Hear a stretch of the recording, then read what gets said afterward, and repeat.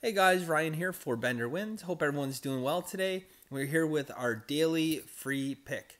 Uh, yesterday's daily free pick went exceptionally well. So, start the football season yesterday. We had Green Bay on the money line at plus 150. So, hope you guys got on board with that. I gave a really good explanation in yesterday's video, I think, about the psychology of NFL betting um, and how it's really important not just to bet, you know, statistics and trends and things of that nature, but really get inside, you know, the public's mind and Vegas mind and, and trying to decide why why are why is Vegas trying to get you to do what they're trying to get you to do.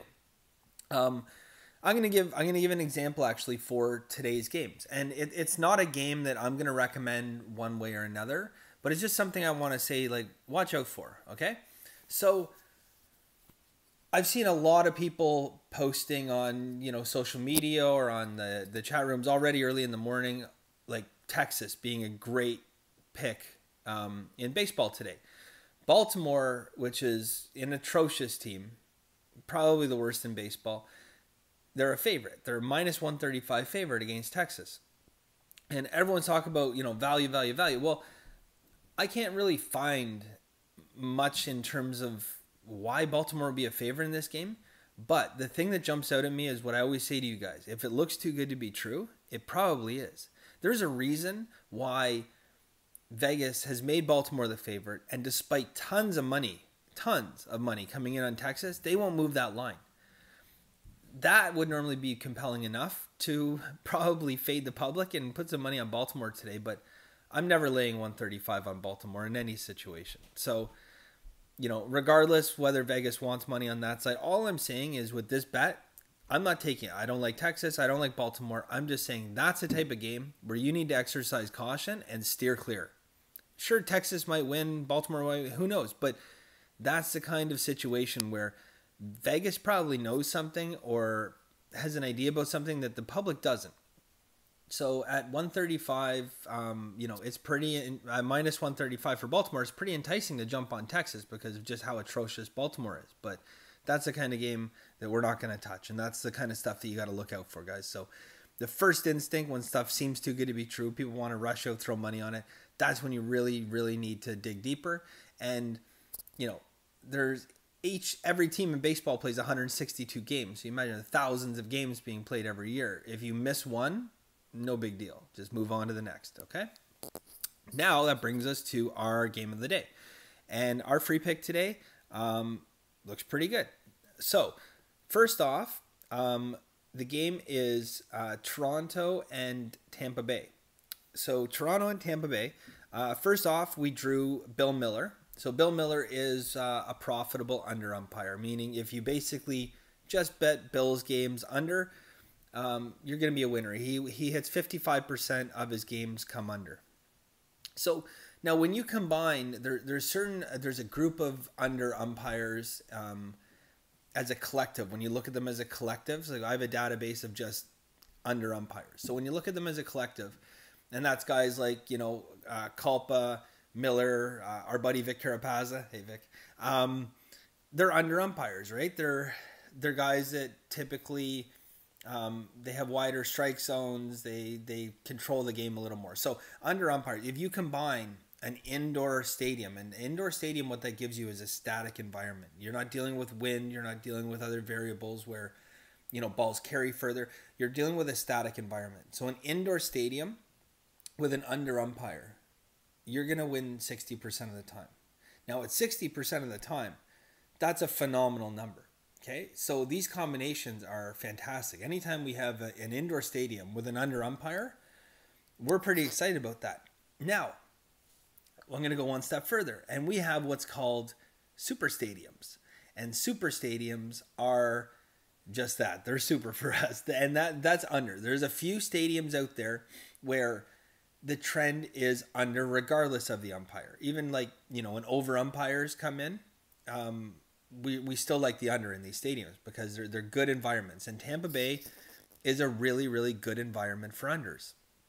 So when we take the combination of what we call a super stadium and combine that with an under umpire, if we're going back 10 years, you hit 67% of the time. And you're not going to find any kind of bet or advantage where you're going to hit 67% of the time. So we like the under in this game. It's nine. We like under nine. And I'm going to mention one other thing too about it. So I think this game probably could have opened or gone to nine and a half um, just because of the pitching matchup. So both pitchers have an ERA over five. And that's the other thing too. Like to me, it's like I don't think they could have opened the line at eight and a half because again, like you know, would have been way too lopsided. Like they're not looking to get killed on a game. Vegas is looking to get money on the side they want, but they're not looking to get killed if they lose. Um, but I think this game could open at nine and a half, and the reason it opened at nine is because they want money coming in on the over. So on the surface, to a bettor that doesn't dive deep into this, they're going to look at the game and they're going to say, okay, wow, like you know, you got um, two pitchers with ERA over five, lines nine, like that looks enticing, right? So I mean, you're casual bettor. This looks like a game that you know there's going to be lots of runs generated. No, I, I think you know the the situation here is right. Um, I'm happy to see the line at nine. It kind of reinforces. Um, you know my belief that Vegas wants money to come in on the over, so I, I like that. I mean, if it opened at nine and a half, I'd still be on the under in this game just because of the situation, but I would feel like you know that that's probably the correct line was nine and a half, and um, you know I wouldn't feel like Vegas wanted money on the over, but I do feel like they want money on the over because they know these numbers, right? They they know this inside and out. Like this is not news to them. When they set the line, they knew this. So, anyways, guys. That's our play for today. We're taking Tampa and Toronto under nine runs.